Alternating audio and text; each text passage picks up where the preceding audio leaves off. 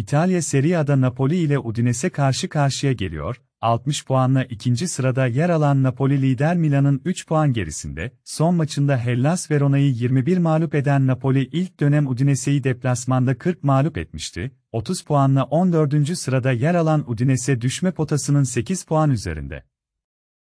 Deplasmanda 4 maçtır kazanamayan Udinese Napoli karşısında oynadığı son 10 maçın 9'unu kaybedip diğer karşılaşmada ise berabere kaldı ve bu karşılaşmada da işleri zor.